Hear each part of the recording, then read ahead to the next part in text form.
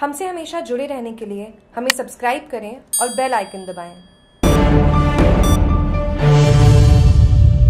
Sojat road railway station पर राज्य सरकार द्वारा जारी कोरोना गाइडलाइन की पालना नहीं हो रही है शनिवार को मैसूर बैंगलोर ट्रेन से सोजत रोड स्टेशन पे 500 से ज़्यादा यात्री उतरे इन यात्रियों की कोविड रिपोर्ट व सैंपल लेने के लिए मात्र दो टीम तैनात की गई। कर्मचारियों की कमी के कारण कई यात्री बिना रिपोर्ट बताए व जाँच करवाए बाहर निकल गए बड़ी संख्या में आए प्रवासियों के कारण कोरोना संक्रमण का खतरा बढ़ने लगा है।